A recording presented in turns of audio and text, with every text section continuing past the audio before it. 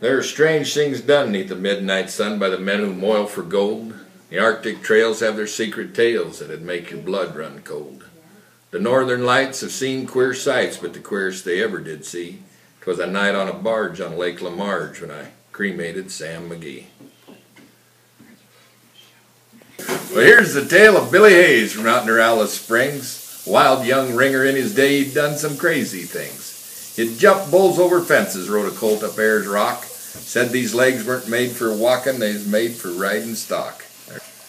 And the thing that bothered me the most and put a damper on my pride, he was learning how to buck faster than I was learning how to ride.